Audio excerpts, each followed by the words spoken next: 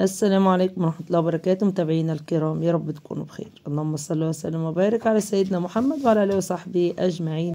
مجيد بجرة مدرب المنتخب الوطني المحليين يتفقد أرضية ميدان نيلسون مانديلا قبل مباراة غانا الودية. نشوف مع بعض الفيديو ولكن